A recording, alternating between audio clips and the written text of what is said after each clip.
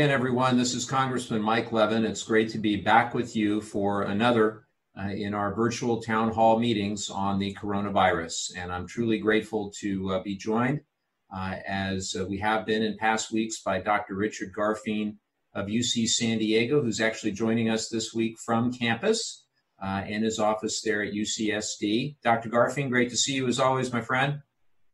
Thank you. Good to be here. Fantastic. I hope everybody weathered the storm okay. I know it was very wet in North County, San Diego, and South Orange County yesterday. Uh, and I hope everybody is uh, staying safe and healthy uh, at home.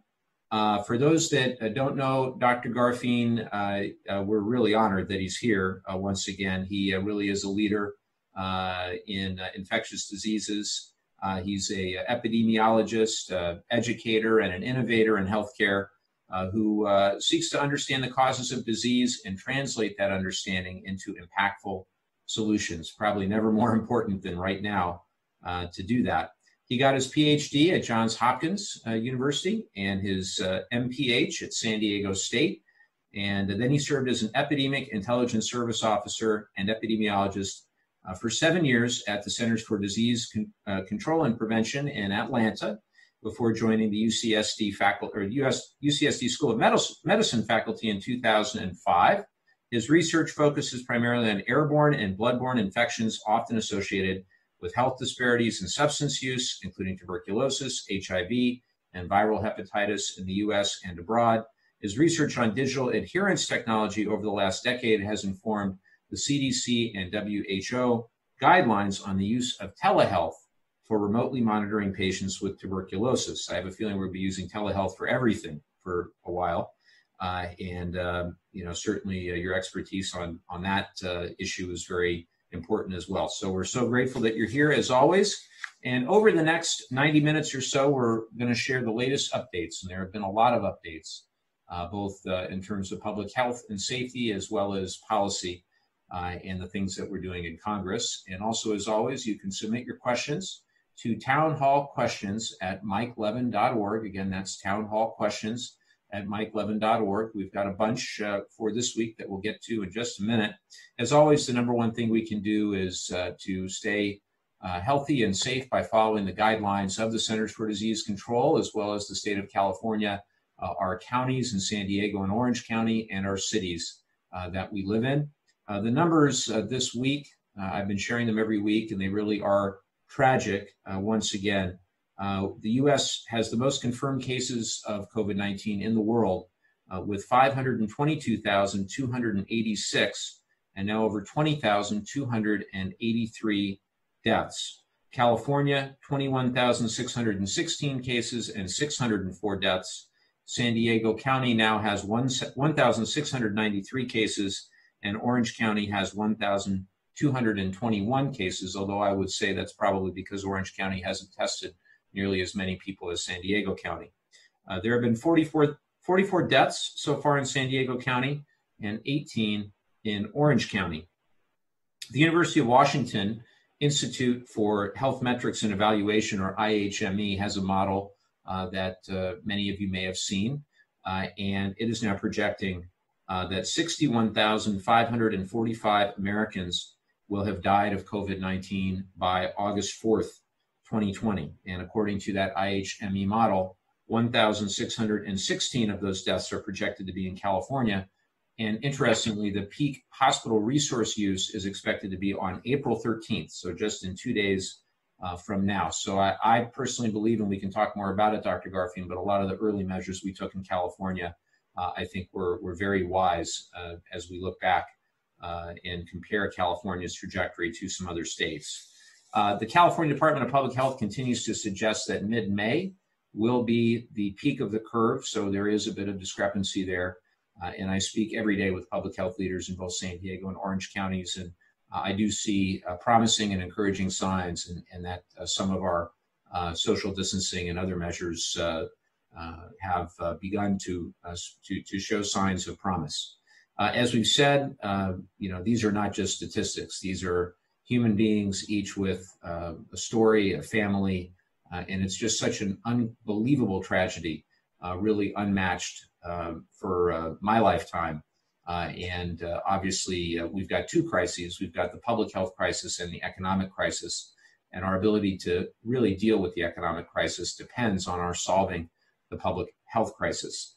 As I mentioned, we've done uh, now three major pieces of legislation in Congress. Uh, on March 6th, Congress passed an $8.3 billion supplemental appropriation to bolster vaccine development uh, and to also help with the equipment stockpiles uh, in our state and local health budgets. Clear that wasn't nearly enough. On March 18th, we passed the Families First Coronavirus Response Act, approximately $200 billion bill uh, that was really focused on paid sick leave uh, and emergency leave. Soon thereafter, we realized that wasn't nearly enough. And so then at the end of March, we passed the third bill, which you're probably quite familiar with, called the CARES Act, a $2.2 trillion bill. Uh, and we're already working on a fourth bill. Uh, but I, I, know that the CARES Act wasn't perfect, but I do think it was a very positive and bipartisan step that we needed to take to get aid uh, to our frontline medical community as well as to American workers and their families. Uh, with regard to the CARES Act, on the public health side, $100 billion for our hospitals, of which about 30 billion is already uh, going out to hospitals in the first tranche. another 150 billion dollars for our state and local government of which uh, California is set to receive 15.3 billion, uh, and the county of San Diego will get 559.4 million. The county of Orange will get 534.8 million. And what we're told is that that money will start coming to state and local government on or around April 24th. Uh, for workers and their families, of course, a significant expansion in unemployment insurance uh, with uh, 600 extra dollars a week uh, and that makes the uh, maximum benefit under state unemployment uh, jump from about $1,800 all the way up to $4,200.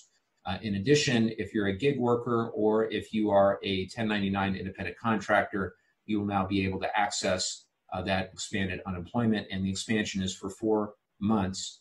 Um, that uh, additional $600 a week, and the EDD, California Electronic or California Employment Development Department, uh, we've read and we've heard the stories about some delays there. I spoke yesterday to the uh, Secretary of Labor uh, for the state of California, uh, who assured uh, the uh, California congressional delegation that the fixes are on the way, that they're working very, very hard to address these issues, and that for those who have, have filed for unemployment, they should start to be receiving the expanded unemployment insurance starting early next week.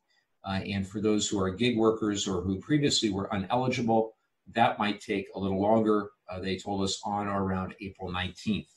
Um, finally, the cash payments.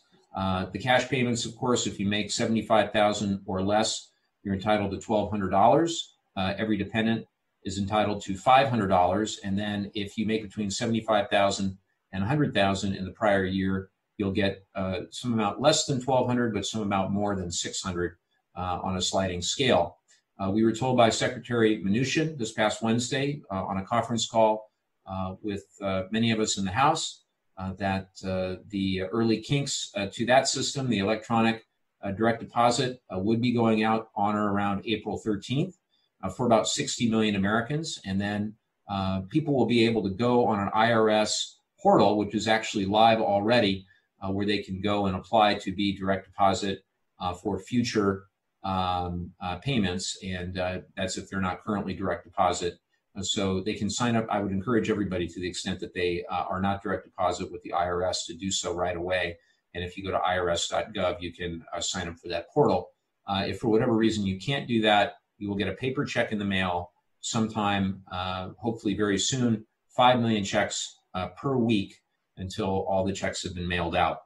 Uh, in addition to that, the CARES Act provided $350 billion through the Small Business Administration for what's known as the Paycheck Protection Program or PPP program. It is a, uh, a loan program that's actually administered uh, through the roughly 3,600 lenders that already do business with the Small Business Administration. The idea is that the lender can get up to eight weeks, or excuse me, the borrower can get up to eight weeks to cover payroll and other expenses uh, so critically important that we try to keep our workforce uh, employed and we try to keep our businesses uh, up and afloat during this very difficult time. I'm sure everybody has seen the um, horrific uh, numbers for our workforce, and, and, now one in 10 applying for unemployment, uh, really unprecedented since uh, the Great Depression. And that uh, number, now roughly 13%, uh, is the uh, unemployment rate. At least that's what we've been told from folks like the former Fed chair, Janet Yellen, this past week. the, the PPP program got off to a rocky start, but we were again promised by Secretary Mnuchin uh, that the lenders are ready to, and, and, that already the uh, Treasury Department and the Small Business Administration has approved 98 uh, billion dollars worth of those loans. And there's uh, actually a lot of broad bipartisan support to add more money to that program. Uh, the discussions now are around another uh, $250 billion for that program. The final thing I'll mention about the PPP is that it's intended to be forgiven the loans are intended to be forgiven, in other words. So, so long as you use them in the intended um, uh, manner and for the intended time, uh, you get those loans forgiven up to $10 million per small business or nonprofit organization. Uh, and you can go to the SBA's website, sba.gov, uh, to learn more about the PPP um, program. Uh, I think we need to do more with regard to hospital funding. I'd like to see another $100 billion for our hospitals. I'd like to see another $150 billion for our state and local government. And I'd like to see the restrictions uh, on cities less than 500,000 from directly getting that money. I'd like to see them to be able to get that money directly as well from the federal government. Very important for cities in our district like Carlsbad and Oceanside and Vista and others that I've spoken with their mayors in recent days. Um, a few other things that I've been doing this past week with regard uh, to COVID. Uh, we introduced the COVID 19 Graduate Relief Act, which basically says if you graduate in 2020, uh, you would get uh, an extra three years of deferral on your student loans. I think that's uh, a very uh, important thing given how tough the workforce is right now for people who are graduating. We've also requested uh, from Betsy DeVos additional money for, in addition to what's already in the first CARES Act, about 31 billion. first, that that money gets expedited uh, two places that need it the most, like UCSD, by the way, Dr. Garfein, uh, and, and other higher uh, education institutions, as well as K through 12. We, we need, really need to make sure that that money that's in the CARES Act gets the educational institutions that need it the most. And then second, this entire uh, COVID crisis has really uh, underscored the digital divide in the United States, where a lot of the country, you've got students that don't have access to technology, whether it be to uh, a good internet connection or uh, other resources. And so uh, I've written a letter and will be requesting that every child that in America that needs access to the internet get a Wi-Fi hotspot in the near term, get a Chromebook if they need it for their distance learning, or another personal um, internet device so that they can learn while they're at home. In addition to that, I think long term we're going to need a lot more around broadband infrastructure uh, as well for those that don't have uh, internet connectivity in their homes. Um, in addition to that, I'm also leading an effort with my friend, uh, Republican Rodney Davis of Illinois, to include our Prevent Family Fire Act in the next uh, bill regarding COVID. Uh, the Prevent Family Fire Act is really simple, provides a, a tax, a tax credit to safe storage devices for firearms. And what we know uh, from our work with the Brady campaign and others is that when firearms are in the home, and they're stored safely and locked, the risk of a gun related accident goes down by 74%. Uh, so for everyone, uh, you know, obviously you've, you've, got kids in the home uh, all over right now because kids are home from school. Please keep those uh, firearms safely stored. Uh, just the same, uh, if you or anyone that you know is in any sort of crisis, you know, we, we know that there are a lot of, um, you know, it's very difficult to be at home all the time, and there, there's a lot higher incidence of mental health issues. Uh, there are all kinds of resources available on our website at mikelevin.org in case you're uh, in need of any support with regard to any of that. And in addition to that, we know unfortunately that domestic violence goes up um, when people are uh, isolated at home as well. Uh, there is a domestic violence hotline, 1 800 799 7233. Uh, and uh, I'll just close uh, my update uh, by uh, kind of reiterating what we've talked about as uh, the, the mantra stay in place, maintain your space, and cover your face. Those are still as true this week as they were last week, I think even more true. But I think things are even more restrictive this week in terms of pretty much all the beaches and parks and open spaces in our community are pretty much now closed. Uh, there is good news. Uh, again, I think locally we're doing a, a, very good job, particularly with regard uh, to testing. UC San Diego has really been a leader. I was just on the phone with them the other day, and they now have about capacity for seven or eight hundred tests a day, uh, and they're ramping up to about 1,500 tests a day, and that's just for UCSD. So that's great. Uh, Memorial Care up in uh, South Orange County, they're opening a new drive-through testing facility uh, in San Clemente at the former hospital there. So that's good. That's in addition to another drive-through uh, that they've opened up in Rancho Santa or uh, Rancho Mission Viejo, the new the new hospital in Rancho Mission Viejo. So that's great. And I have to give a shout out to one of our local volunteers, Louise Herbert, uh, who made the news here locally for making 600 masks ha- hand sewn. In fact, I have one of them right here. I got a pretty cool one, red, white, and blue, right here. But very, very simple masks. She made 600 of these, if you can believe it. And I'm very grateful to her for that. And all of them, I believe, uh, have already been distributed, and she's already working on more. So thank you, Louise, and, and for all the Louises out there who have worked so hard uh, to show kindness and generosity during this tough time uh, we thank you. And uh, we need more of that uh, for sure. So, with that, I'm going to turn it over to Dr. Garfein for an opening statement. Good to see you. Yeah, good to see you too, Mike. Um, thank you for having me on. So, I think I'll follow up on the the idea of mask wearing for my opening today. Um, last week, the CDC announced new recommendations stating that all citizens should wear a cloth face mask when they go out in public.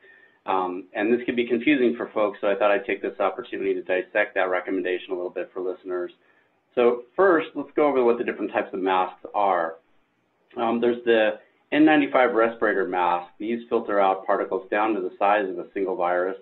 Um, they're used in the healthcare setting to protect workers who perform procedures that create a large quantity of these very, very small, small particles, and they're essential for, um, for physicians um, working in healthcare settings where COVID is, is highly prevalent.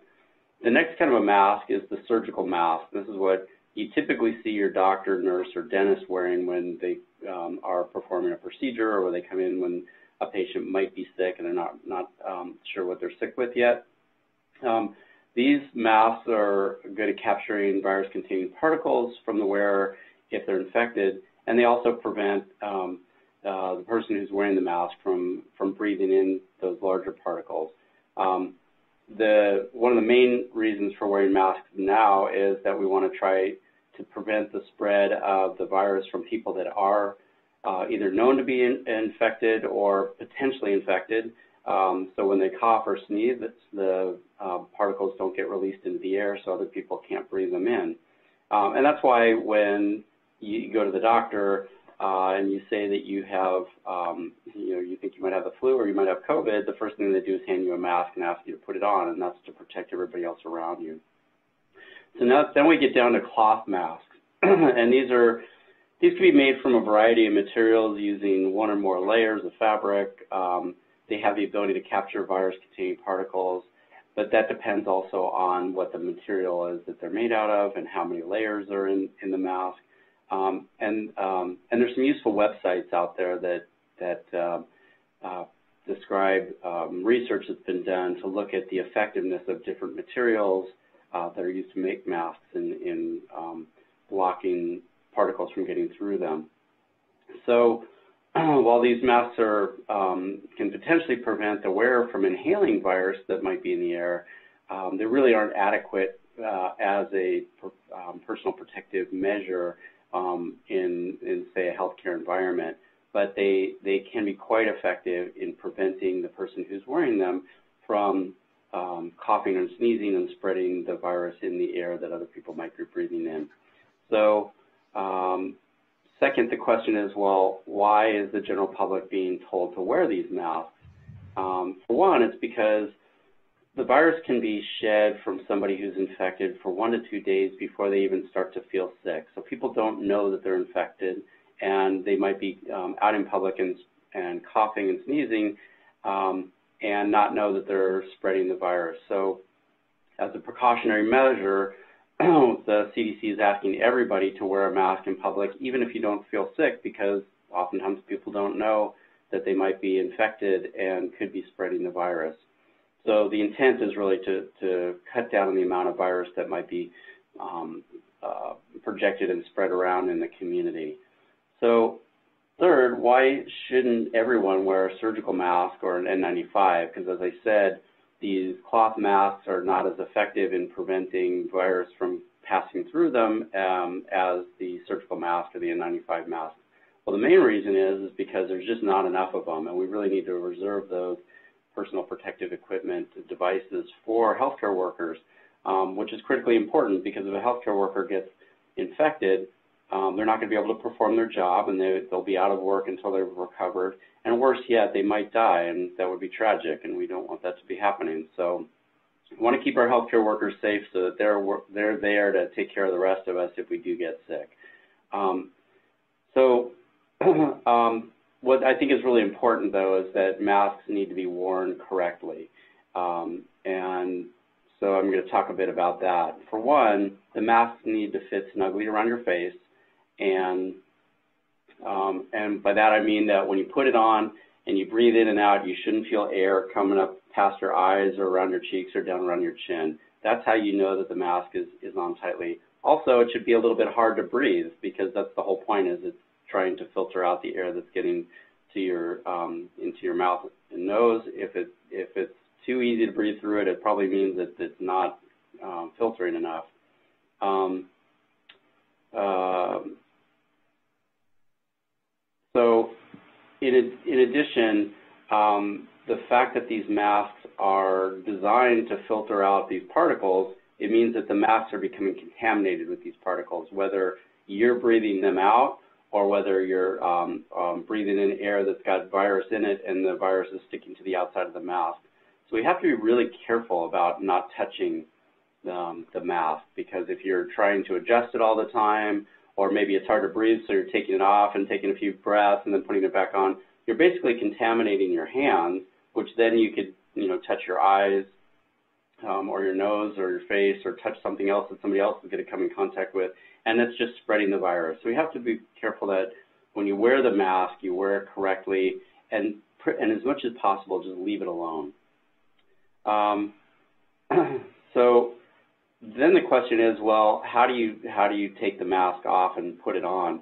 Um, the point is is that um, these masks can become contaminated, and if they're doing their job, and so we want to treat them as as if they are um, infectious material. So with the cloth mask, when you take them off, you want to put them directly into the wash or put them into a sealed plastic container until you're ready to, to wash them. And the good thing is that normal washing with detergent and hot water does a great job of inactivating the virus. So it's a great way to clean your mask and then they're ready to, to go when you um, go to put it back on again. Um, if you happen to be using the surgical masks or N95 respirators, these are not designed for reuse. Um, and so when you're done wearing one of those, you put it in the trash. Normal, the normal trash is fine. You know, it's ideal if you could put it into a container that's covered and sealed so that nobody's um, touching anything inside the trash, but um, they could just be discarded uh, as normal. Um, one thing that I do want to caution people about is that um, with so many people wearing masks and also sometimes people are wearing gloves when they go to the market and they're out in public, there's a tendency to want to um, take them off as soon as you can and get rid of them. And so we have to be careful that we're not discarding them inappropriately, such as walking up to your car at the market, you know, before you get in the car, taking off the gloves and dropping the gloves on the ground for somebody else to have to deal with. And, and unfortunately, we have started to see some signs of discarded masks and gloves in parking lots, and I, I just think this is this is really inappropriate, and I hope people will really take that seriously. That we're not just trying to protect ourselves; we're trying to protect the rest of the community by wearing masks and gloves. And so, do your part to make sure that you dispose of these materials correctly. And then finally, um, my last pitch here is um, please try not to get frustrated when you hear recommendations like these changing. I know for a while people, people were being told don't wear masks. Now the CDC is coming out and saying please do wear masks. And there's a reason for that. You know, health officials had to make the initial recommendations quickly to protect the public from a novel pathogen in the midst of a rapidly evolving epidemic. Therefore, these early recommendations were based on prior experience from past estimates of how um, these kind of outbreaks occur. Um, and unlike the SARS virus 1 epidemic, which occurred in 2002, 2003, where the spread was primarily in hospital settings, we've learned now that with SARS-2, COVID-2, um, it's really spread in the community and in households. And so that was part of the reason why the recommendations have changed.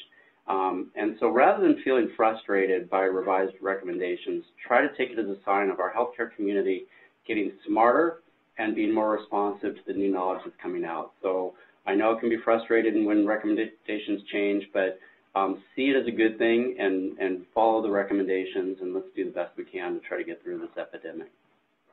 Thank you, Dr. Garfield. So just so I'm clear on this, for this this cool mask that Louise made me, every time that I wear it, I should put it in hot water and wash it hot water. Yeah, uh, exactly. washing machine every time. Keep it clean. Keep it clean. Yes, sir. All right. All right. That's very cool. Um, and thanks to Louise again. We got a ton of questions. Uh, really, really amazing. Uh, the the quantity. It seems like every week uh, when we do these, uh, we get more questions. So we'll get through as many as we can. Uh, first, Burgett in Rancho Mission Viejo asks, what assistance is available for retired senior citizen rental property owners who rely on the rental income for their own income? Many of us live rental payment to rental payment, very much like renters who live paycheck to paycheck. We do not qualify for unemployment benefits or cash payments available to others. Uh, I, that is quite a predicament, uh, uh, Bridget, and I get it.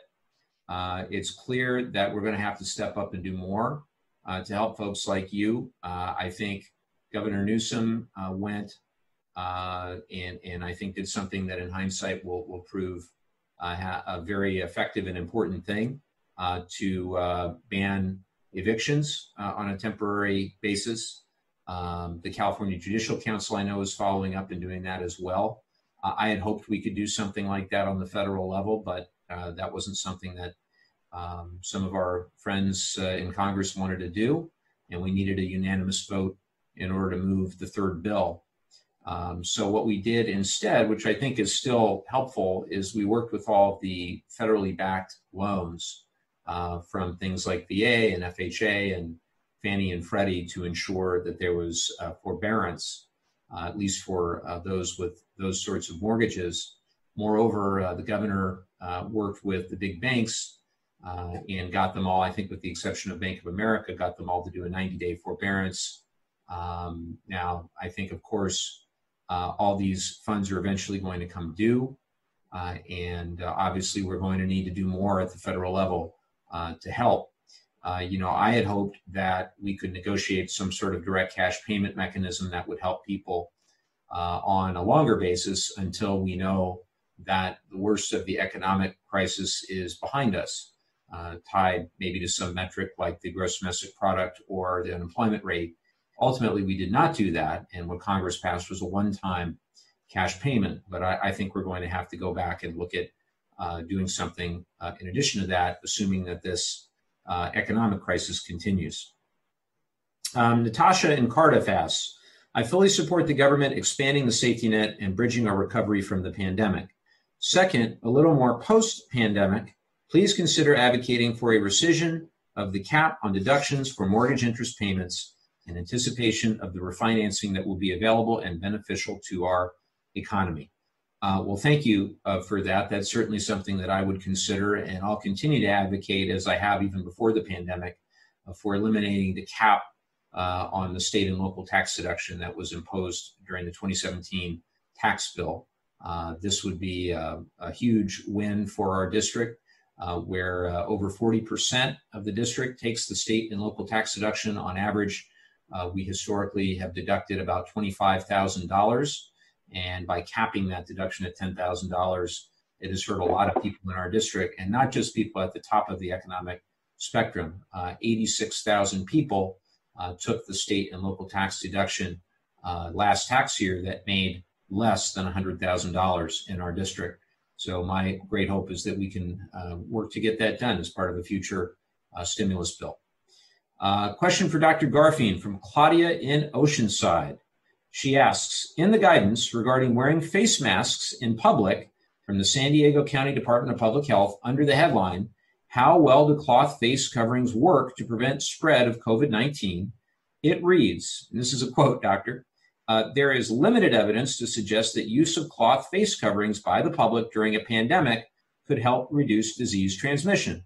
Their primary role is to reduce the release of infectious particles into the air when someone coughs or sneezes, including someone who has COVID 19 but feels well. She says this sounds contradictory to me. Care to explain that? Yeah, well, there's a lot in that question, and I think I covered some of that in my introduction, but I'll just sort of reiterate here that at when we cough and sneeze, and even when we speak and and sing, um, virus that, that's in our uh, in our nasal pharynx can be um, shed out, you know, spread out into the air. And the idea of the of the cloth-based mask is to try to capture as much of that as possible. So if the face mask is well designed, it fits well around the face, it's made of the right materials, it's thick enough that it actually can, you know, maybe have a couple layers and capture most of that material that's coming out it's really going to cut down on the amount of virus that's going to be circulating in the air that somebody else might breathe as they walk past you or might be sitting in the same room with you. Um, I know, you know, we say that we should be six feet apart with social distancing. Um, I think that's sort of a general guideline to help us to understand, you know, something concrete that we can do. Um, in some cases, the virus might not travel that far. In other cases, depending on the environmental conditions and how much somebody's huffing and puffing or coughing and sneezing, you know, it might go a little bit further. And so I think we have to use our own best judgment to know, you know, what's the probability that somebody that, that might be shedding virus next to me is going to be putting enough of it out there that I might get exposed to it. And so the face masks are really intended to really try to reduce that. Now, that being said, like as I said, there are other things that could make that face mask not work so well. So one is, unfortunately, I was at um, at a market last week, and every employee was had a mask on, but the but they're hard to breathe through. When you're working in one all day long, they get hot, they get difficult to breathe in, and the poor cashier was taking it off, taking a few breaths, putting it back on, going back to working on the cash register, handing me my groceries, and it's it's human nature that, you know, you just do this stuff. It's like trying not to touch your face when you have an itch. We all know we shouldn't do it, but you do it anyway. So I think in order for this um, intervention to work, we have to be very conscious of how we're doing it. And if you do wear a mask, be aware that that mask now could be, become contaminated and we want to treat it as contaminated material and, you know, wash it appropriately or discard of it appropriately. Don't touch it if we can avoid it. And if you do touch it, wash your hands afterwards because if you got the virus on your hands after touching the mask, you know, treat that just as if you had touched something on a grocery store shelf that might be contaminated. Wash your hands, use hand sanitizer, and treat it as an, as an infectious piece of material. I think if we do that and we use it correctly, the masks can be very effective in minimizing the amount of spread of, of the virus in the community. Great answer. And we thank all of our uh, grocery store and other workers that are out there on the front lines of this and all the folks delivering all those groceries and all those other uh, deliveries and, and obviously all of our frontline medical professionals. Um, tough times. I know when I put the mask on, I immediately want to touch my face and I have to remind myself not to do that. Uh, and as you, you and I have said in the past, every time that you think of touching your face, you're more likely to want to touch your face. So, uh, exactly. human nature. Um, Viet in San Diego has a question. What will you do to ensure this administration will conduct strict oversight of the half trillion dollar bailout we gave to large corporations, especially since many of these corporations enrich themselves at the expense of the working class? What will you do to ensure that in the future that any further or current bailouts will be repaid to the American people in full? Uh, well, first, uh, Viet, I share your concern about oversight as part of this package. And um, there's been a lot that's been discussed about this, and, and from my vantage point, Uh, when we first saw the CARES Act in its original form, uh, it didn't have very much oversight at all. Uh, and we were able to put uh, very specific provisions in there about um, prohibiting stock buybacks and dividends, as well as uh, limiting executive compensation for those companies uh, who receive the funds. in addition to that, there's a, a two-step oversight project process. There's both a independent inspector general, it's supposed to be an independent inspector general, uh, and there's a five person oversight committee. Uh, the inspector general that uh, was in place uh, was uh, relieved of his duties by President Trump. That was very concerning to many of us. Uh, but there is another mechanism there, which is that five person body. The five members of that body are appointed, one each, by Nancy Pelosi, Kevin McCarthy, Chuck Schumer, and Mitch McConnell and then, interestingly, the fifth member is jointly selected by Nancy Pelosi and Mitch McConnell. They haven't picked that fifth person yet. We're all watching and waiting to see who uh, it, it, will be that they select. Uh, but uh, that is an important oversight mechanism as well. And then finally, we're getting a little uh, surprise from my six-year-old here. Uh, fi- hello.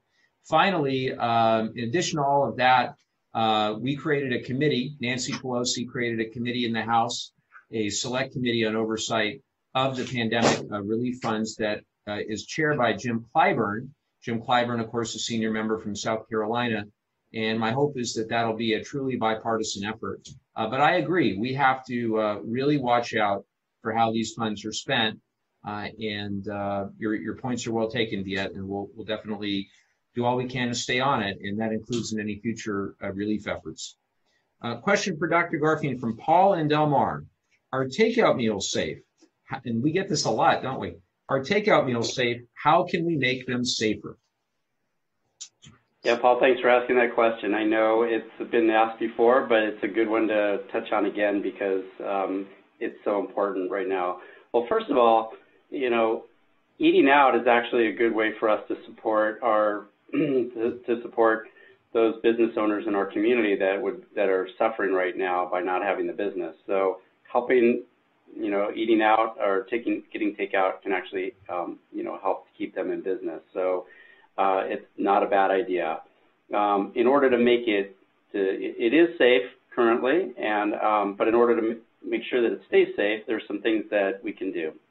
One is for the employers is to make sure that if they have any employees that are feeling sick, um, they should be sent home. They should not be there working. Um, they should be at home recovering. The other thing that they should do is make sure that they're following appropriate um, uh, food handler hygiene, which means washing their hands frequently, um, handling food in a safe manner, keeping it um, from becoming contaminated with um, potentially with bacteria or viruses. Fortunately, the standard uh, restaurant hygiene that all restaurants are supposed to be following is perfectly appropriate to protect us from COVID-19. So they don't have to be doing anything different than they would normally be doing as long as they're following good um, food uh, preparation hygiene, um, the food should be safe. So then what can we do as consumers to help to protect ourselves? Um, just be aware that cooked food, uh, cooking food does kill the virus. So if you're buying hot food, it should not have um, uh, live virus in it. But if you're concerned when you get the food home, it doesn't hurt to reheat that food again. It could be reheated in the microwave or the oven, um, and um, that would help to kill any virus that might be in the food itself. Also consider that the containers that the food came in may have been touched by somebody um, who had virus on their hands, and so a good practice would be to take the food out of the containers when you get it home, put it into another container, and then discard those containers that you uh, purchase the food in, and then wash your hands when you're done. So, you know, if you touch the containers and contaminate your hands, wash your hands when you're finished. And then um, um, another thing you can do is remember to keep a safe distance from the person who's delivering your food. So if you're going into a, a restaurant to pick it up or somebody's coming to your door to drop it off, just sort of be respectful of each other's space, you know, try to minimize the amount of time that you're in contact with them um, you know, I know we all want to sort of check in on each other and see how people are doing, but maybe this isn't the right time to have long conversations with that uh, delivery person. Let them get back to their job and stay safe, and then um, and and they should be good. And then the last thing is try to avoid um, handling cash. try to use a credit card if you can. Um, even better if you can put in, uh, provide your credit card information when you place the order so that you don't have to do any sort of a financial transaction when the delivery arrives. That, um, that makes it even better. Um, but again, if you do have to have do these transactions, um, consider that your hands might be dirty now and use a hand sanitizer when you, before you get back in your car um, or wash your hands when you're at home. It seems like this is going to be a, a boon for things like Apple Pay and, and uh, the other uh, virtual uh, payment uh, methods from your phone and so forth, and uh, all sorts of, I'm sure, all sorts of interesting startups and other companies to do things without having to touch one another. No doubt. Next question from Fran in Carlsbad. Can you explain the rationale for providing a stimulus check to individuals who, whose income has not been impacted? For example, people who have always teleworked and continue to telework out of a home office and, uh, and have not been impacted, retired or non working individuals, such as those on pensions, where their income has not been disrupted. Well, I think uh, I certainly understand and appreciate what you're saying, Fran. I think those types of cases, from everything that I've seen and from the data that I've seen, those those types of cases are generally the exception rather than the rule.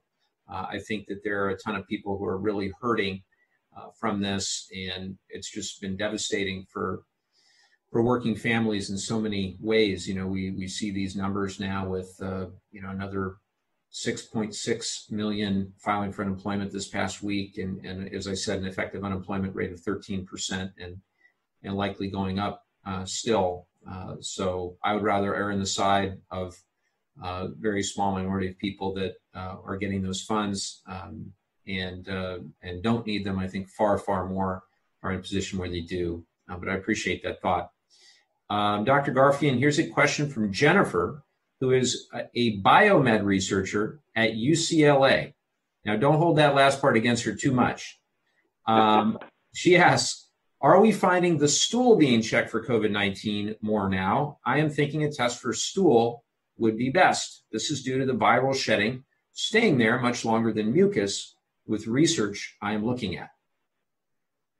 There you go. Well, Jennifer, I'm happy to answer a question from a member of the UC family, and so thanks, thanks for. Um, you know, this is an important question that needs more research the, you know, the same technology that's used to detect a virus in somebody's nose or throat would be the same that's used to detect virus in stool. You know, it's a PCR test. It's designed to detect viral RNA. Um, so that technology is already available. Uh, what I think more research is needed on is how to is to understand how viral detection in feces correlates with the viral shedding in the nose and throat um, you know, are the quantities of virus that you might detect in stool um, uh, associated with sort of the stages of disease and, and the amount of shedding in, in the nose and throat, are they correlated? Um, so these studies need to be done, and maybe that's something that you and your colleagues at UCLA can work on if you haven't already started that. Um, another thing to keep in mind is that if people are getting close enough, you know, if we're concerned about viral shedding in feces is a way to transmit the infection, we should be keeping in mind that if you're close enough to somebody to be exposed to their feces, you're also close enough to be exposed to um, coughing and sneezing um, and you know respiratory spread. So we really have to, in that situation, be considering um, full uh, infection control precautions to all bodily fluids, and, and that would make sense. Um, Interestingly, more than a dozen groups around the world, including the US, Sweden, and, and the Netherlands, um, have been trying to see if the number of people with COVID in a population can be determined by measuring the quantity of the virus in sewage. Um, this has proven to be really difficult, though, because one, we don't yet know quite um, how much virus is being shed at different stages of disease and, and whether or not everybody sheds virus in their stool if they're infected. Um, so it's been hard to predict sort of the prevalence of infection, but it can be used actually quite effectively, potentially as a way uh, to do sentinel surveillance, meaning that if there's a community that doesn't have coronavirus yet, if you monitor the stool, you may be able to pick up that it's actually entered into that community and that it might be a community that needs um, further, um, you know, further control measures. Um, Furthermore, maybe that's a way that we can sort of figure out when coronavirus has gone away if we stop seeing it in, in sewage. so it's an interesting technology, important question. You know, I encourage you to do more research on it, and um, it may become a, a, a, new useful tool that we can take advantage of. Plus, it can also help us to understand um, how the virus is actually impacting patients and, you know, where it's occurring in the body and what other kinds of um, health problems it could be, um, it could so, be. Doctor, does that mean you can you could detect it in like a wastewater uh, system? Uh, yes, exactly. Yeah. Okay. And I, I was speaking with somebody who actually is an engineer who designs wastewater treatment plants last week about this question, and I was sort of curious because I'm I like to go in the ocean, and I was curious about whether or not the virus is going from the sewage and into the ocean. and he pretty much assured me that the, our sewage treatment plants um, are highly effective at um, at inactivating viruses and bacteria before they are released. And then when they do get released, they're pumped about three miles offshore um, so that they're not really being, that effluent isn't being dumped out into the surf line. But I think it's an important question in terms of if there is a concern about people um, going into the ocean, if, if the virus is in sewage, you know, what's the likelihood that it's still viable and can actually infect somebody who might be exposed when they're in the ocean? Really um, interesting. We've, we've got some amazing wastewater treatment facilities uh, that are doing a great job, and uh, I hadn't even thought about uh, the risk this might pose to, to their workers as well. Uh, but uh, that's that's really something to, to be thinking about, and and uh, perhaps down the road figuring out ways we can partner uh, to uh, detect the presence of COVID in our wastewater stream. Very interesting. Um, Ryan asks, foreign and state jurisdictions have already started discussing future immune antibody certifications such as an immunity database tied to federally compliant driver's licenses or personal identification. That's really interesting. Um, what House subcommittee, what House committee or subcommittee can take up the cause of drafting this type of mechanism nationwide? Ryan, that's a really interesting idea. Uh, one that I had not given much thought to, but I think uh, what I'll do, uh, the Energy and Commerce Committee would be the right committee, and Anna Eshoo would be the right uh, subcommittee chair. She chairs the subcommittee on health, and I'd be happy to to uh, talk to Anna, who's a good friend from the Bay Area, about that because I think that's a really interesting idea. Um, this one's for you, Dr. Garfein, uh, from Claudio in San Clemente. Is it possible that the rate of mutation of SARS-CoV-2 might circumvent our efforts to have a vaccine that works? Oof, I hope not. um, well, Claudio, that's something that, that is always a concern. So RNA viruses, like the flu and the measles viruses, are more prone to changes and mutations compared to DNA viruses, such as the herpes virus or smallpox or HPV. Um, the virus is mutating. However, uh, it was noted by a professor at Yale, John Rose, who's helping to develop a COVID vaccine, that the sequences of the original isolates from China seem to be very close to the viruses that are currently circulating in the U.S. and the rest of the world. So although mutations do occur, they don't seem to be dramatic uh, mutations in, in, um, in the SARS-CoV-2 virus. Also, it's important to point out that mutations don't necessarily mean that the virus is getting more infectious or more deadly. Sure, that can happen, but um, I think mutation sounds really frightening, and our first thought is, you know, oh no, a mutation, it's going to turn into a monster and get even worse. That's hmm. not necessarily the case, and in fact, um, uh, nearly all mutations actually make the virus work less well than before, and oftentimes those mutations mutate back um, to keep, kind of keep the virus in its uh, intact state. Um, some research done by, um, you know, a, a, professor at Texas A&M um, uh, found that, um, you know, one of the things that he states is that the most common thing is that mutations appear and then die out again quickly. So another thing to consider is that vaccinologists, um, they're constantly looking for multiple targets on a virus. You know, where can you make uh, antibody that would um, inactivate that virus? And there's different parts of the virus some that are uh, more um, um, mutable and others that are more conserved. And so when vaccine uh, developers try to make a vaccine, they try to find vaccines that will work on that more conserved part of the virus, the part that doesn't change as often. Um, but that doesn't necessarily mean that you can't make a, a vaccine against a, a, virus that does mutate. So, for example, the influenza virus. Um, this virus, the most effective vaccines work by targeting the proteins on the outside of the virus that happen to change very frequently. And so uh, we can make very effective vaccines, but we have to keep making new ones every year because that virus keeps mutating and sort of and changes. And so that's why we have to revaccinate people every year. Um, however, um, other viruses like the mumps virus um, uh, is another RNA virus like coronavirus, and we have a vaccine where the same vaccine has been used for over 45 years and it's never needed to be changed.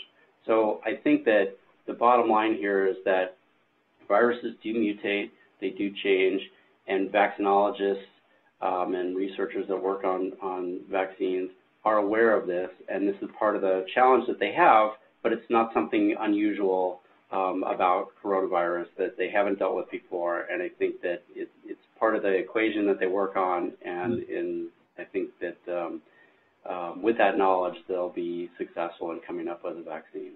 That's fascinating. Thank you. I hadn't heard it explained quite that way, so it's really interesting. Thank you so much for that.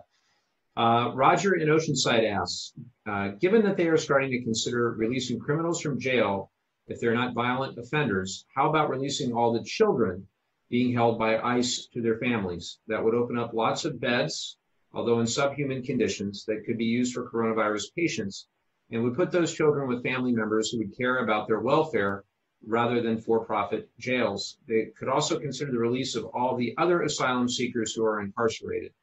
Uh, well, Roger, great uh, points. I, uh, before uh, this crisis, supported uh, reuniting uh, children with their families. As a parent of young kids, I think you saw one of them running behind me uh, 10 minutes or 15 minutes ago. I can't imagine, I, I, just find it entirely unconscionable that we would separate a child from their parents. It just is beyond my understanding that we would ever want to do that to put a, a parent or a child, uh, particularly a child in that circumstance. So I, I support, absolutely support that reunification. Uh, and we also need comprehensive immigration reform. Uh, we needed it before. We're going to need it, uh, you know, and, uh, on a go-forward basis. I think this is uh, going to make things more difficult for a while with regard to, to getting any sort of comprehensive immigration reform. Um, but uh, we also need to treat our asylum seekers with dignity and respect as well. and again, things that I found uh, difficult to uh, achieve despite broad, uh, if you actually talk to members of Congress, broad bipartisan support among among the members to want to do something. Uh, but I hope that um, you know we haven't taken uh, too many uh, steps back by virtue of this virus um, putting up a lot of barriers. Uh, question for you, Dr. Garfein, from Eric in San Juan Capistrano. Uh, thank you and Dr. Garfein for these town halls.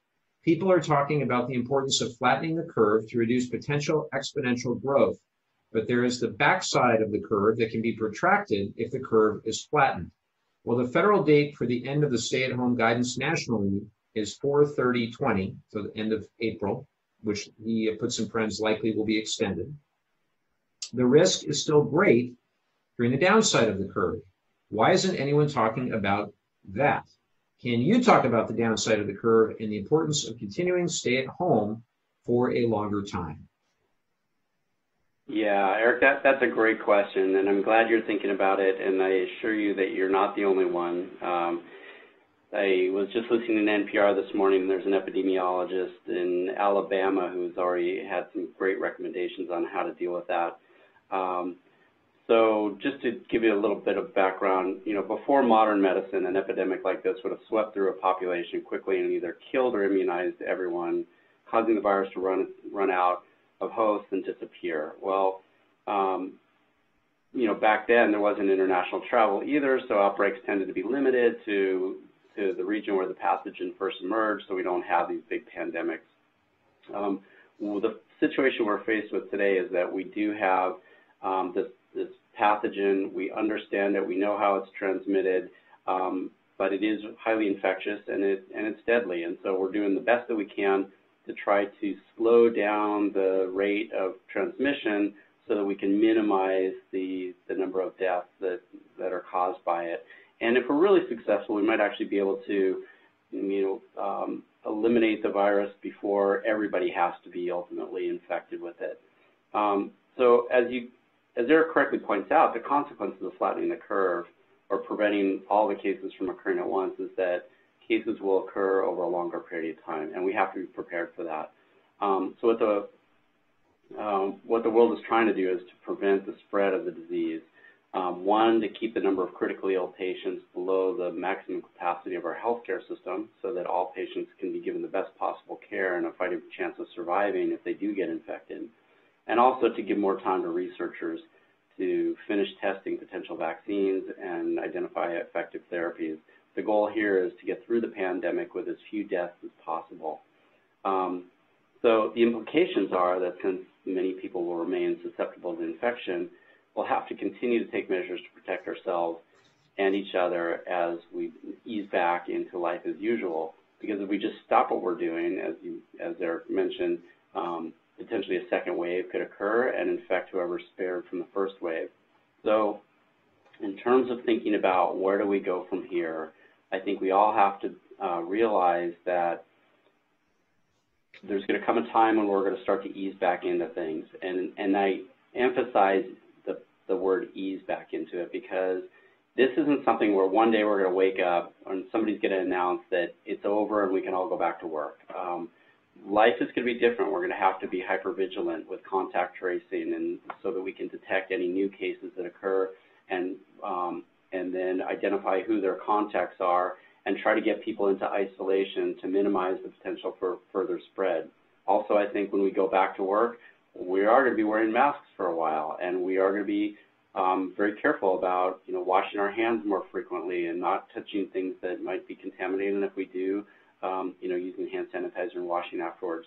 So I think that um, if we can sort of get a handle on this first wave and then ease back into things with uh, very consciously being aware that the virus is still in the community, that there's still susceptible people, uh, and that we have tools to, to try to slow the, the spread of the disease, we can try to keep that, that curve low, even though it might take a while to do that. And then, um, you know, hopefully we will develop, we will have a vaccine by around the end of the year. Um, hopefully we'll find that some of the treatments that are being uh, evaluated in clinical trials right now will be effective to help to minimize the amount of death that's caused by the disease.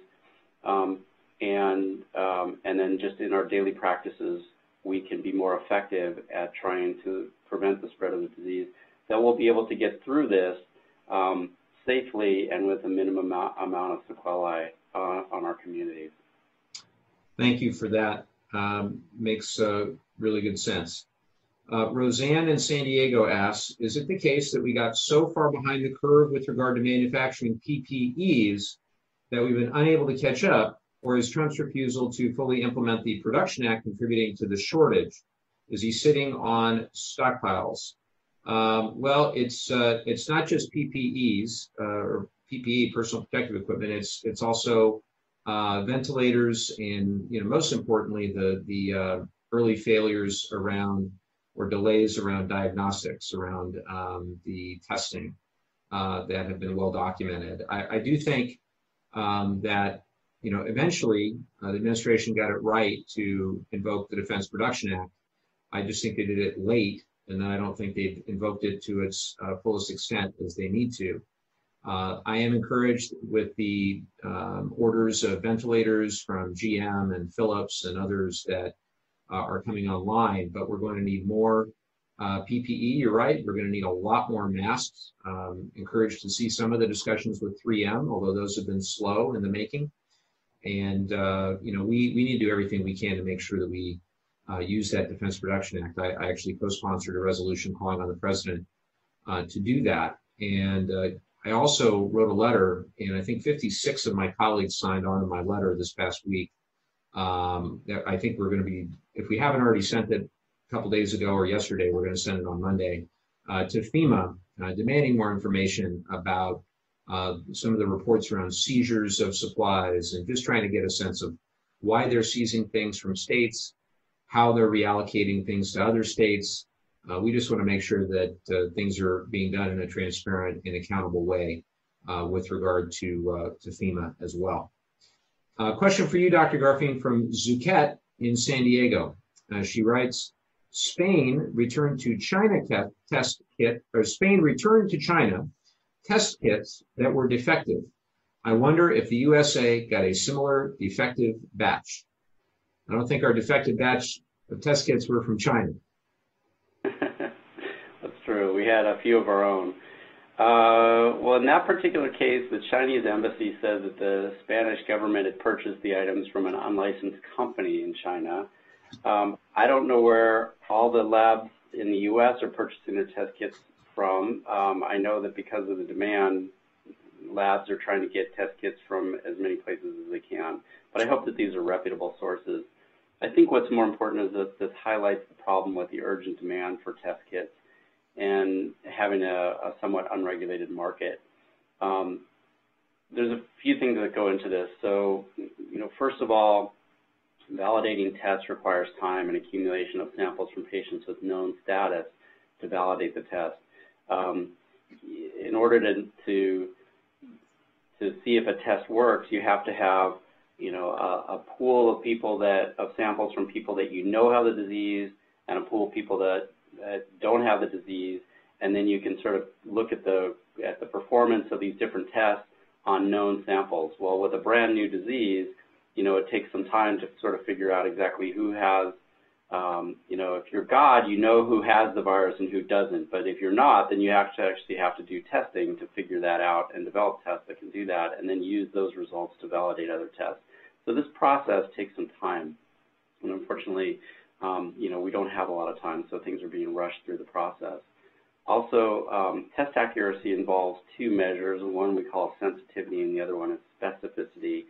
And this is how good is the test at detecting the disease, the, the pathogen if it's there, and how good is the test at ruling out a specimen if the pathogen really isn't there. And depending on what the test is used for, we might prioritize one over the other. So if you're trying to be ultra careful and make sure that you don't miss somebody, you'd want to have a very sensitive test. And if you're trying to make sure that a person really has a disease and not something different, you might want a test that errs on the side of being more specific. So different tests are designed with these different considerations in mind, and that, that can affect, you know, how, how those tests perform.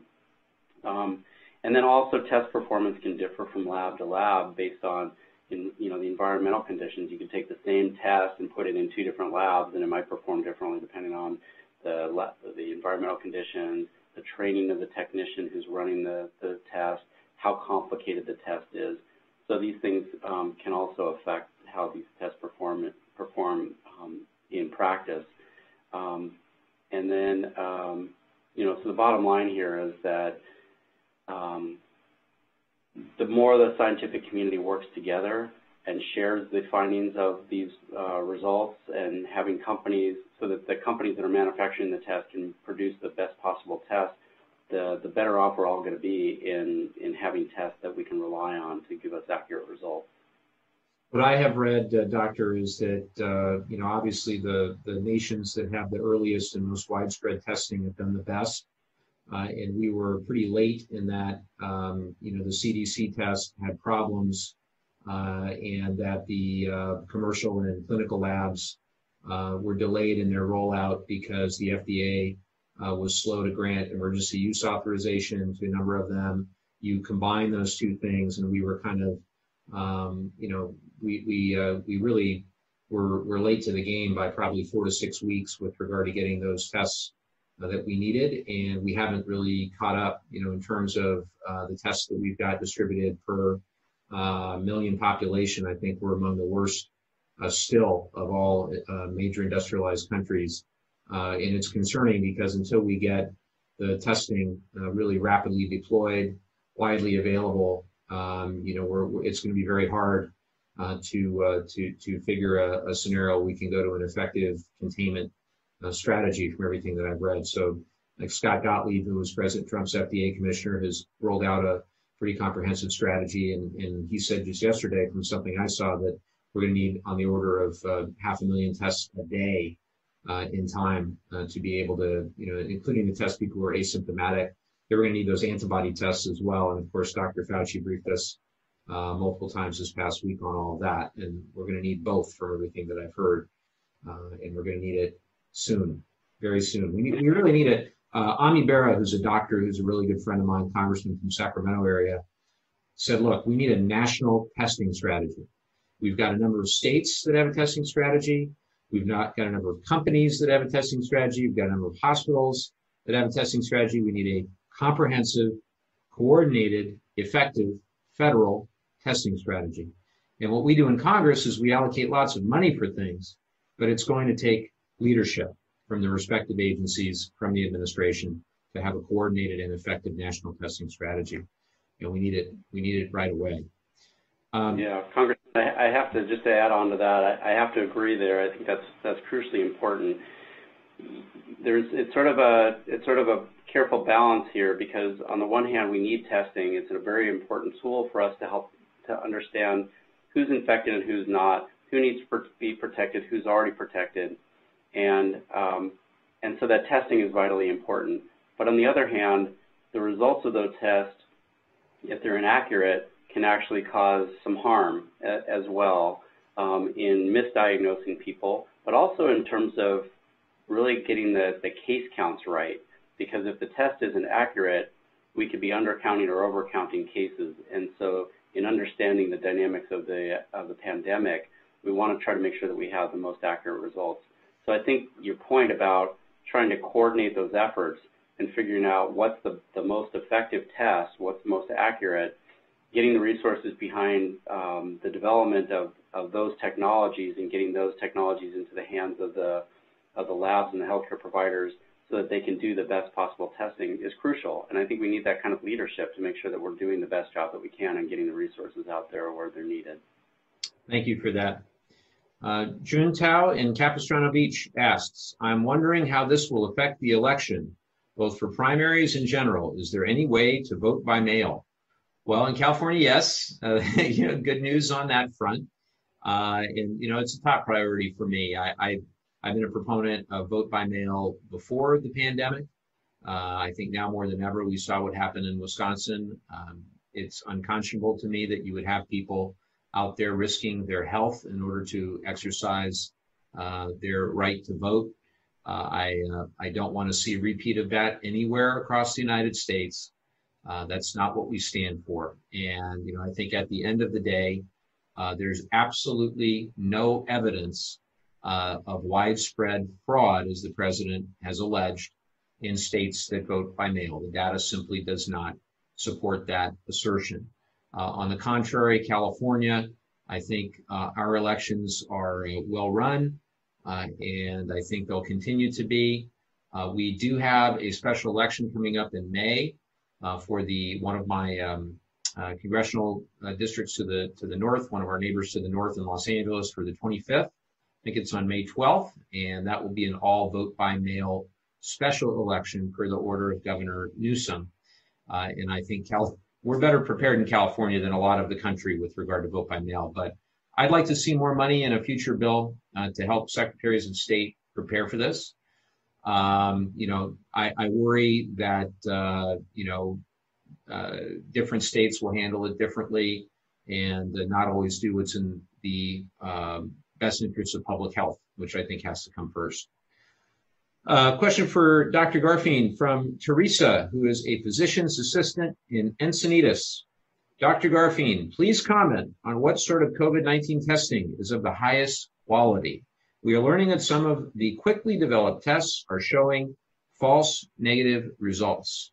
I hadn't heard that before, so that's interesting. We're obviously all holding our finger or crossing our fingers with regard to the Abbott test. Mm-hmm. What do you say, doctor? Well, there's there's different kinds of tests. There's the test that's looking for the virus, and then there's a the newer tests are looking for antibodies against the virus, and they're really sort of measuring different things. The the viral test is looking to see if the if the patient actually has the virus in their in their body and is actively sick. The antibody test um, is used to tell whether or not the person has been exposed to the virus and is producing antibodies against it. Um, those antibodies could be present while the person still is, infe is infected and infectious, um, but they also remain long after the person has recovered from the disease. And so they're good for knowing who's already had the disease, um, maybe not quite as good at, at knowing um, who is currently infectious. That's where the viral test is, is beneficial. Um, but we're in this period where so many tests have been developed very, very rapidly, and they're trying to be put on the market so that labs can start to use them. And so um, the normal FDA approval process has been sped up. And so when it comes to which test is best, the specifications of the various tests are normally included in the you know in the package insert with the test and you can look and you can see the the evidence that was used to evaluate the test and you can look at the sensitivities and specificities and the performance of those tests um, however the FDA has been compelled to give test emergency use authorization which is a step below FDA approval um, here's where the FDA hasn't uh, required that the test be validated in the same way, but they um, seem to be good enough that they could be used while those tests are being conducted. And so the data on the accuracy of these tests is not quite as available as they normally would be with FDA approved tests. That information is being accumulated and we'll know better over time how well these tests perform. Um, but it's, it's, it's a little unclear at this point to say like what's the best test. But in terms of the question about false negative results, um, some of the problem could be that the virus, which targets cells in the lungs, might not always be present in the nose or the or the throat, which is where we get the sample from to do the viral load, uh, the viral test. Um, also, the quantity, sometimes referred to as the titer of the virus, can vary depending on the severity of illness and also the stage of the disease, whether it's you know early versus late in the person's course of disease. So depending on when you actually do the test, the ability to detect virus in a person's nose and throat can, can change. So it's possible that, you know, if a person's being tested late in the course of, of disease, by that time, there's not as much virus in their nose and throat. It might come up negative, even though the person is clearly sick with, with COVID. And you can, you know, tell that by a chest x-ray and by their symptoms. Um, and so that, that would be a false negative test. Also, it could be that if somebody's being tested very early, um, there might not be enough virus in the sample to be able to detect it, um, and so it could come up negative even though the person might eventually uh, uh, develop full-blown disease. Um, so um, it, it's possible that you can have these false negatives. It does happen.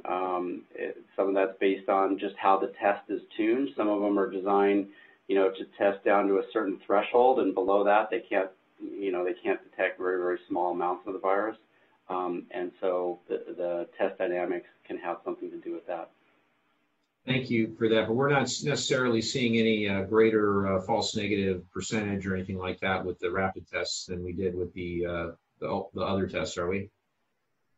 Well, I think that the when tests are, are put into market, they're usually designed to be at least as good, if not better, than what's already out there. So I doubt that we're like That's rushing to worse tests out than the ones that we currently have. That's certainly the hope, right? That's certainly the hope. Yes. A, a question from a small business owner in Carlsbad. Why are the banks determining who gets the loans? Seems like the policies are different at each bank. Uh, well, that's a good question. That's not how it's, I, I assume you're referring to the, the Paycheck Protection Program, which is administered by the SBA, but is run by the banks in, in the sense that they're the direct interface with the customer. Um, you know, I think the reason that uh, the program was designed that way was from a capacity standpoint. If millions and millions and millions of small businesses are trying to apply for these loans, that the SBA is not as big of an agency as you might think. It's only about a billion dollar agency. So I think the belief was that the existing lenders would have the capacity to be able to handle the volume quickly. Uh, however, some of them have done a very poor job of handling the volume. Others have done a great job. And, um, you know, particularly the community banks and the credit unions. Um, the, the lenders themselves are not supposed to do anything but uh, administer the, the program as it's intended to be administered by the SBA and is authorized by Congress. Uh, so the same terms and, con- and, conditions would apply, the same um, covenants, the same uh, uh payment terms, the same interest rate of 1% interest would apply across the board. What could be different per bank is uh, eligibility. So some banks have tried to restrict eligibility to only their existing customers. Uh, and you know, Wells Fargo is the largest small uh, small business lender in the United States, and they arbitrarily set a cap of $10 billion on uh, their lending under this program. Uh, that was related to their overall asset cap that was mandated uh, as part of uh, a recent settlement due to some past malfeasance by the bank. but we have lifted that temporarily for for this program. Uh, and so now they're able to basically lend as much as they like. My daughter's back, by the way. They can't see you though. This is Elizabeth, everybody. There she is. I don't know if Jeremy can see this or not, but uh, do you like homeschooling? Yes, she does. All right. I love it. It's beautiful. Picture of us. It's very nice. Probably hard to see, but it's very cute. Um, so, Treasury Secretary Mnuchin, the last thing I'll say about this, thank you, sweetie. Thank you, sweetie. Um, future future uh, artist, current artist. But uh, Treasury Secretary Mnuchin, when he briefed us uh, Wednesday, uh, he told us that um, he was also frustrated that SBA was taking so long to get this program out there, um, and that uh, about 98 billion of the money had already been lent uh, or was already approved. But you're you're absolutely right. We've got to do better.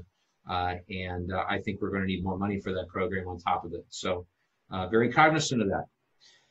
Uh, and I'm, look, for everybody out there that's struggling and that is waiting on whether it be on their um, EDD, uh, state EDD to get it together with regard to unemployment insurance, whether it be waiting on the Treasury Department or the IRS with regard to the, the cash payment, uh, or a small business waiting on the SBA and the banks to get together with regard to the PPP. I hear you. I understand it. I'm equally frustrated by it, and we are working to pressure them to move as quickly as they possibly can uh, to implement the law that we passed, uh, and they need to get it done. They need to get it done right away. Um, Dr. Garfein, this is from Matt in Del Mar. What physical characteristics do patients that require hospitalization have in common versus infected people who don't require hospitalization? It's a great question. So that is a good question. So most people with COVID-19 can ride out the illness at home um, and treat it similar to the flu with rest, plenty of liquid, some over-the-counter medications to help reduce fever and cough, um, make, and, and to be more comfortable.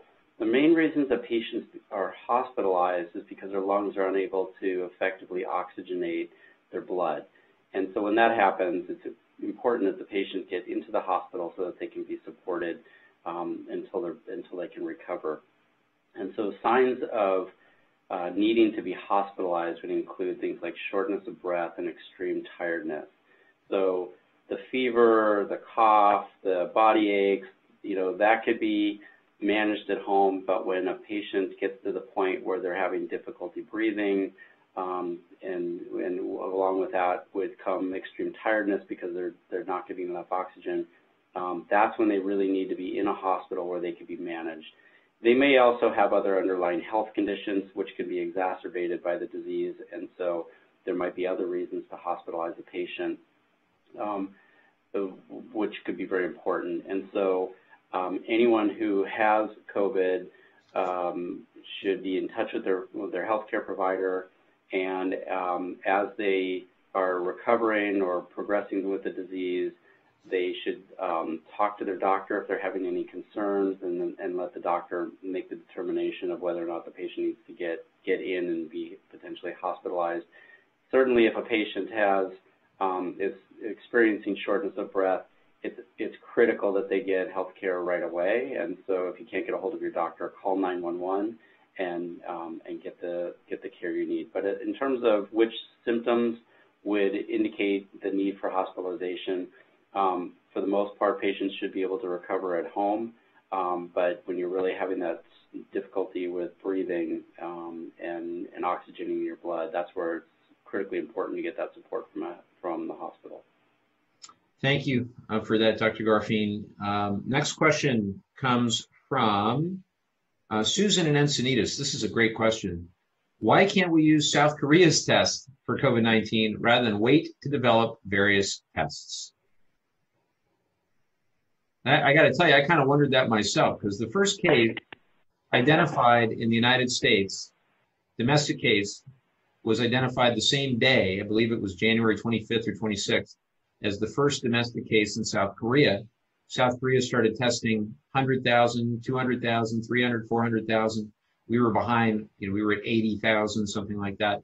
And we, we really have never, on a percentage of our population basis, we've never caught up. So why can't we, uh, can you explain that a bit, how this all works and how this got all messed up? Yeah, you know, I wish I was in the business of selling tests right now because I think You know, I can't I can't say why we're not using that Korean test. I mean, maybe we're using the same type of technology that was developed in Korea to um, to create tests that we're producing here in the U.S. You know, there's 7.8 billion people on the planet, and right now, everybody, every one of them should potentially be tested. So there's there's more of a demand for test kits than there are actual test kits. So it's possible that um, maybe South Korea um, doesn't have enough test kits to sell to the United States. I don't know. Um, but there are, are um, certainly uh, numerous providers right now that are trying to take the technology that's being used and produce tests. You know, there's um, there's patents on this technology, and it's not like you could just take somebody else's technology and and um, produce tests. So I think that it's a complicated business. Um, I, I, know in the U.S. Um, the labs here are trying as hard as they can to acquire test kits and reagents. Um, in some cases, they're developing their own in their labs, and um, everybody's trying to increase that capacity. The other thing that's important to know about um, running tests is that um, that uh, the the test itself requires some equipment to run it on. Some of them, um, you know, the antibody tests that will be coming out will be a small standalone device that you put a drop of blood in and you can have a result in 10 or 15 minutes. Those will be great tests. But the test for the virus is a more complicated test. It requires more equipment. And in some cases, a laboratory, a small lab might only have an, uh, the equipment to run one or two of those a day. Um, and if you're all of a sudden talking about ramping up testing to doing, you know, tens to hundreds of tests a day, you need more equipment and um, uh, and more staff to be able to to run those. So it's a, a matter of the technology uh, and the test kits and the reagents, but also all the other um, infrastructure that's necessary to be able to ramp up that amount of testing. So. I don't know about the Korean test, but I think that um, I think we should be trying to get test kits from wherever we can right now. Well, and I guarantee you, Doctor, that Congress is going to take a hard look at how we can improve upon the situation in the future because we will have future uh, needs for new kinds of tests, you know, as, as we have new uh, viruses that, uh, that we learn about. Um, John in Carlsbad, this is another interesting one. He asks, now masks are recommended. Why can't the government help us get non N95 masks? That is a great question. And I had actually read something yesterday about how the Trump administration was thinking about, uh, you know, making masks available across the United States. And, and they recognized what a difficult logistical challenge that would be. And they eventually withdrew from that, um, that uh, uh, national uh, mandate to, to, to pr- provide those masks. Uh, but you're right. We, we sent billions and billions and billions of dollars in various bills to the Strategic National Stockpile. And what we learned very early in this process, we were briefed, oh, probably uh, mid February, the late February, by Vice President Pence when we were back in Washington uh, before the second bill. So it's probably late February. And one of the things that was pretty striking is how few masks and ventilators and PPE we had in our strategic national stockpile. And um, I think we really need to understand why that was, and we need to fix that problem. Um, Elissa Slotkin, one of my great colleagues from the state of Michigan, she has a background at the Department uh, of uh, Defense, and she has actually said that the Department of Defense might be better than HHS to run the Strategic National Stockpile. I think that's an interesting idea that we're going to have to explore. Uh, but uh, John, it, it's frustrating to no end that we uh, have a mandate for masks, but we don't have masks for people uh, that can be provided.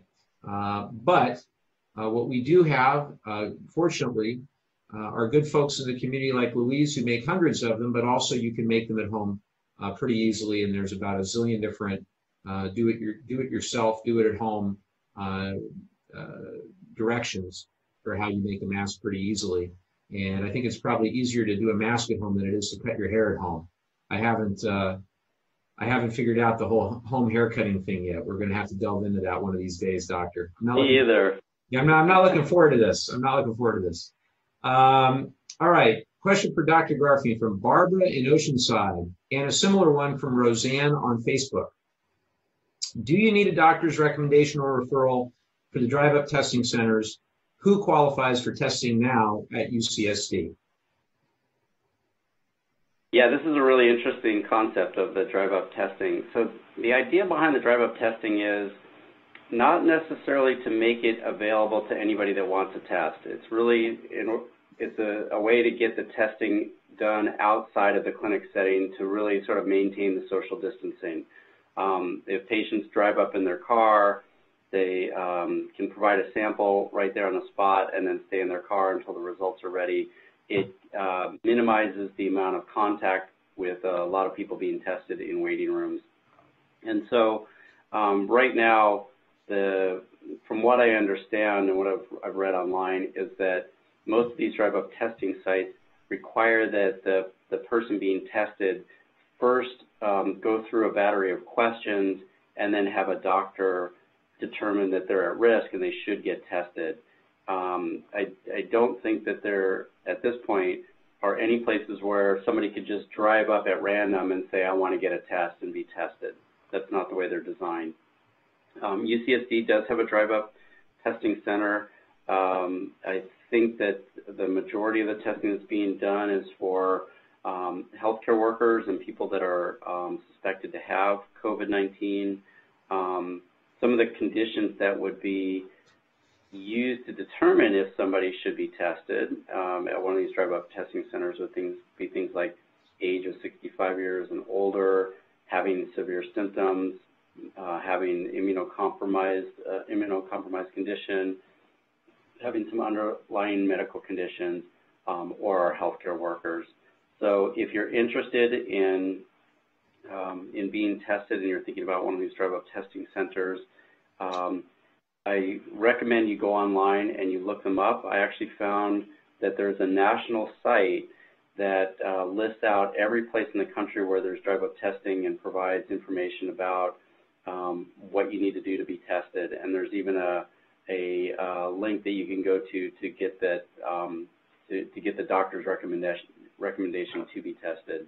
Um, hmm. But I, uh, what I'm hoping is, is that at some point when we have more of the antibody tests available and we have an ample supply of tests, then there will be more of the ability for people who are concerned and want to be tested that they'll they'll be able to take advantage of these um, resources as well. But for right now, as far as I know, you need to have a doctor's recommendation to be tested, and so um, uh, that's the way to start. And then they would direct you to one of these drive-up testing centers.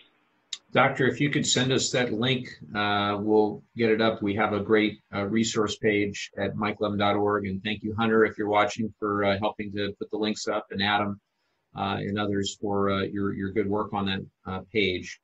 Um, next question from Sunny in Oceanside. Sunny asks, we have our bank info on file with the IRS and have filed our 2019 taxes already. We received a refund for 2019. Do we have to apply for the free money that is coming to individuals or is the IRS doing this automatically? Um, well, if the IRS has your banking information uh, and you otherwise meet those requirements that I mentioned before, so the income uh, cap, uh, then you'll you'll get the assistance uh, automatically via direct deposit, and that ought to be done on or around the 13th the last thing I'll say, I, hate the term free money because it's definitely not free. Uh, when we're done with this, we're, our, our national debt is going to be somewhere between 28, 29, 30 trillion dollars.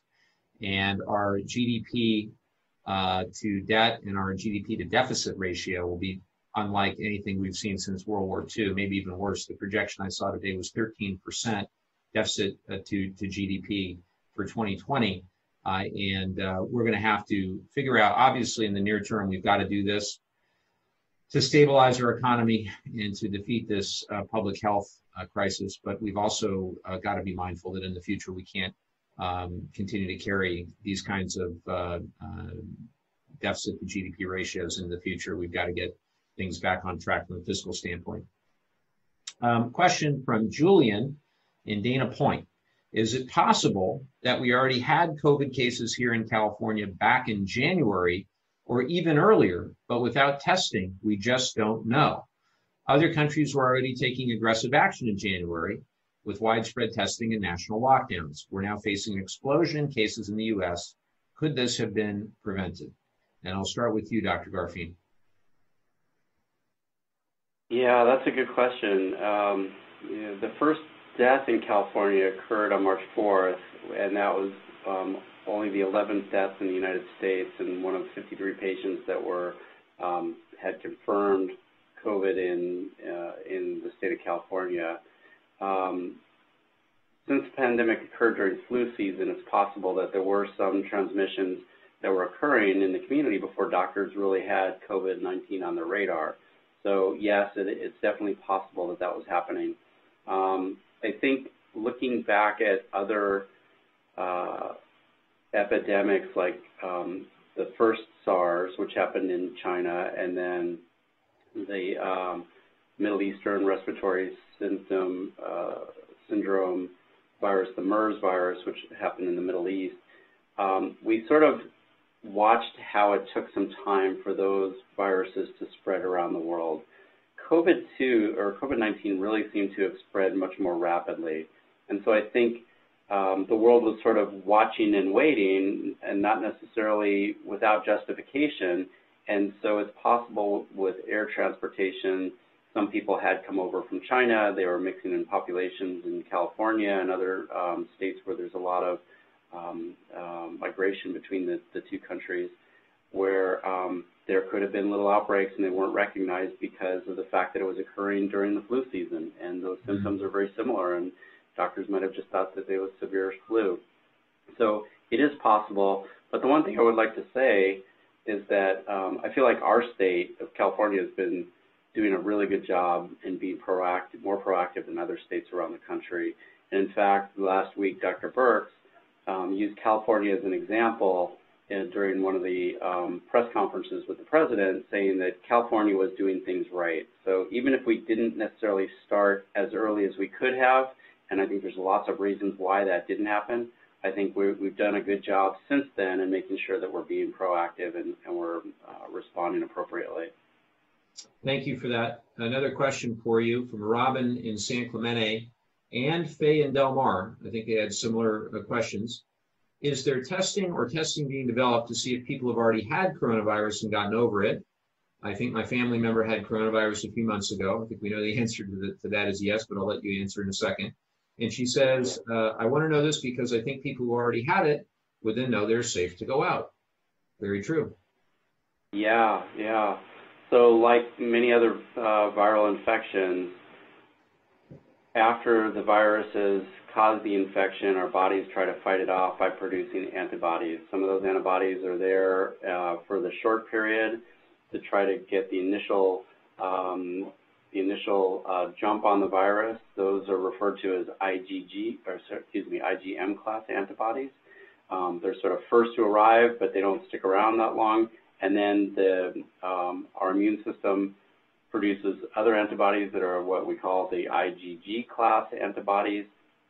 And these tend to um, stick around longer. And also we have immune cells that are primed. So the next time that um, they see that virus again, they'll start generating more of these IgG class antibodies, and those are the antibodies that um, are effective in fighting the virus and preventing a, a new infection from occurring.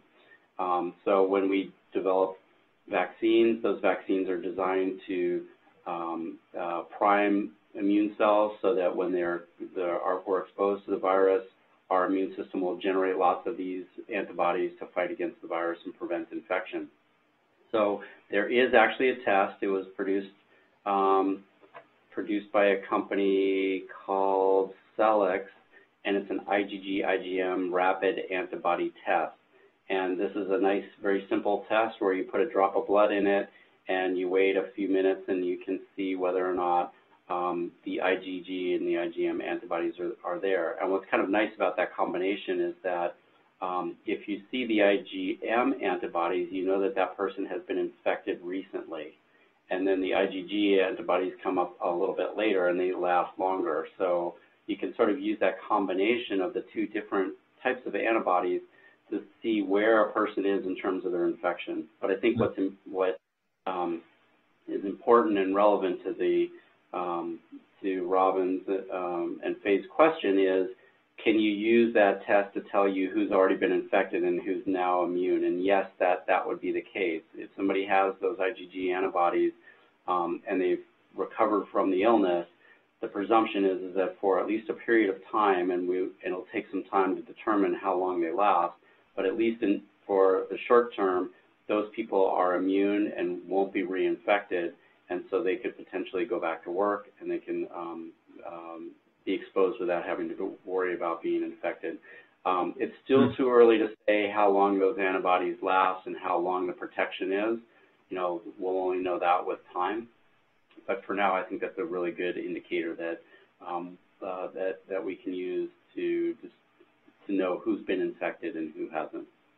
Could you speak, I guess, related to that, my own curiosity on this? So, so obviously we're going to have widespread testing, hopefully very soon.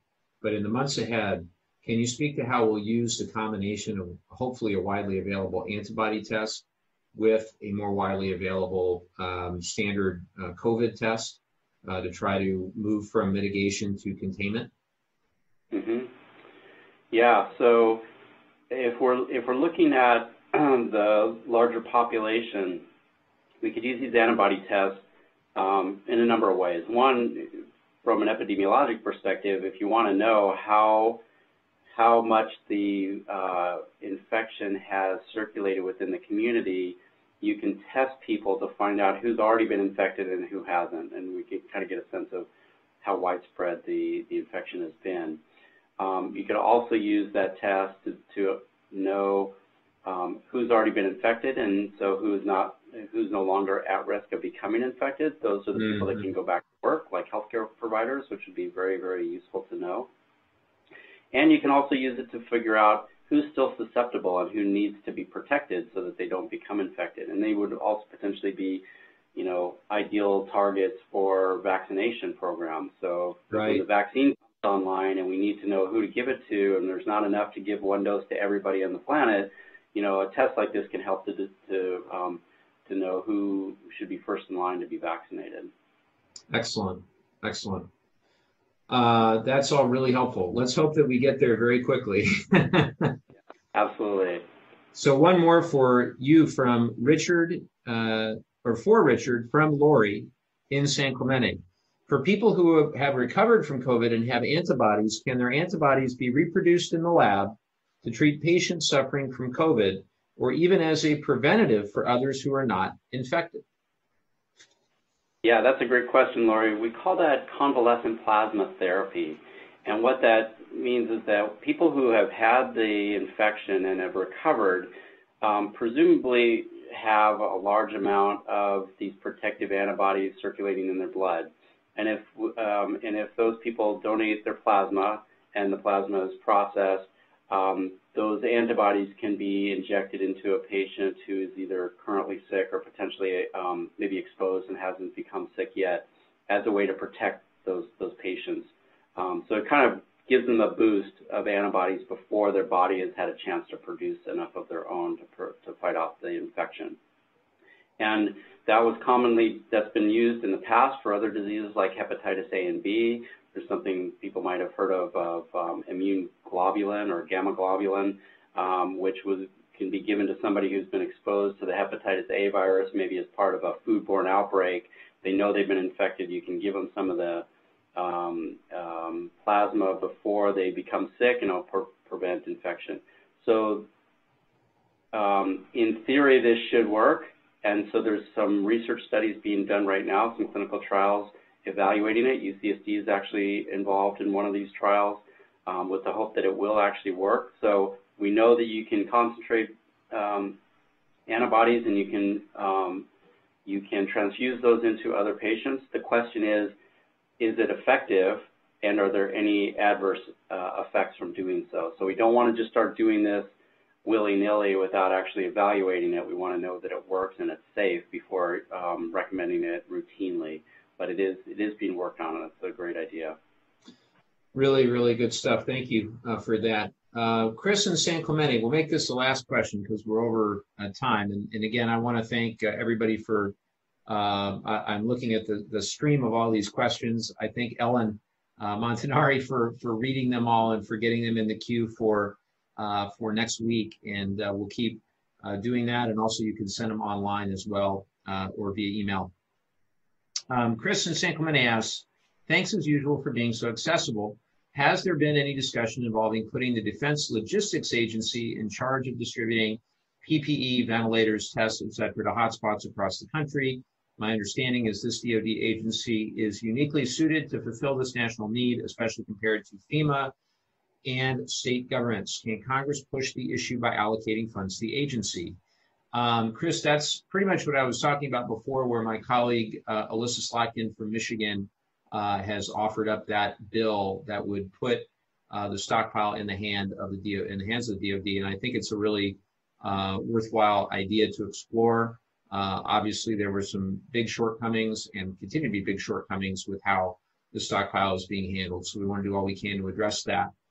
Uh, and with that, I think we are through our questions and out of time for this week. Uh, again, I want to thank everybody for watching and for all the outstanding questions. Uh, I do know that uh, we're going to get through this uh, collectively. I'm so incredibly impressed, as I've said, by all the kindness and the generosity in our community during this incredibly difficult time. I know everybody that is watching this is following those guidelines, and we've got to encourage all of our friends and family members and neighbors to do the same.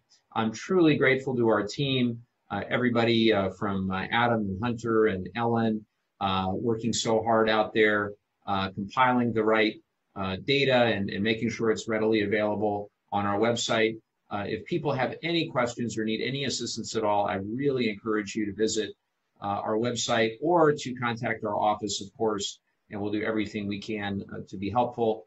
I want to thank our amazing volunteers as well who have continued to act in our community in a sense of service and selflessness as we just make sure that uh, we're all doing okay out there. Uh, we're all in this together. And of course, I've got to thank you, Dr. Garfein, for just being a remarkable resource and uh, for spending uh, some of your quality time with us each and every week. And just know uh, that we're all pulling for you to uh, be able to figure all of this out with the rest of your week, the epidemiology, and, and, figure out how we can all work together to best address this and, and all future viruses as well. Uh, but uh, I'm also mindful of how tough this time is for everyone, particularly those of you who are waiting uh, on uh, uh, assistance, whether it's unemployment assistance from the California EDD, whether it's the uh, small business programs, the Paycheck Protection Program, or whether it's a direct cash payment. just know that I do sincerely believe that in the next week or so, hopefully we'll have this next week, same time, same channel, and a lot of you will have already received your uh, unemployment insurance benefits. Uh, many of you will, will have received your cash payments, and I hope even some of you that have applied for the small business loans will have received those uh, as well. Uh, so with that, Dr. Garfein, any, uh, any final words of wisdom for this week? Keep washing your hands and cover your face. we, we will do it. I guarantee you. All right. Well, I want to again uh, thank uh, my family. Uh, this will be the first uh, Easter and Passover weekend ever that I haven't been able to spend with my parents. And if they're watching, I love you guys and I miss you. At least I've seen you like this, but I mean, I miss being in the same uh, physically in the same place with you. And, and this will be a very strange uh, Easter weekend to not be with my mom, and it was a strange Passover to not be with my dad. Many of you know my dad is Jewish, my mom uh, is Mexican American, and uh, very strange to not be with them uh, during this time. Um, and uh, you know what can I say? We're going to get through this time. Uh, let's all try as best we can to just be there for one another. And I look forward to seeing you all, same place, same channel next week. Thanks again.